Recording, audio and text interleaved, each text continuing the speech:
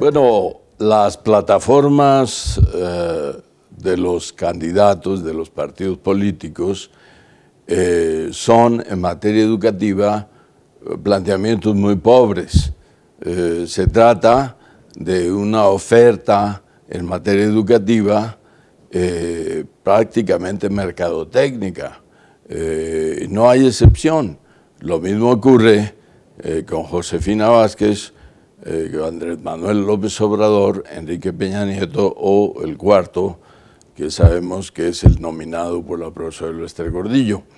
Es decir, eh, las plataformas, los documentos que oficialmente presentan los partidos para las elecciones son en materia educativa muy pobres. Los candidatos eh, se apegan a los principios de la mercadotecnia eh, no interpelan a la inteligencia, la racionalidad de los ciudadanos, sino que interpelan más bien a los sentimientos, a las emociones, y eso es un hecho lamentable.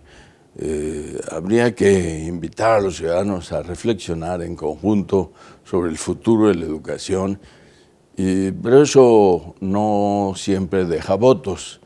En consecuencia, los candidatos prefieren irse por lo fácil una oferta simplona, concreta, específica de eh, satisfactores en materia educativa.